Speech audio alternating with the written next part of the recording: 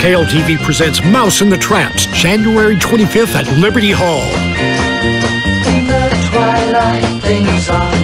See Walking in Dylan's Shoes, followed by Mouse and the Traps, live. Running thoughts will turn to eyes. Get your tickets early from the Liberty Hall box office. Look at the sun. Relive the sounds of the 60s and hear songs from the band's latest album.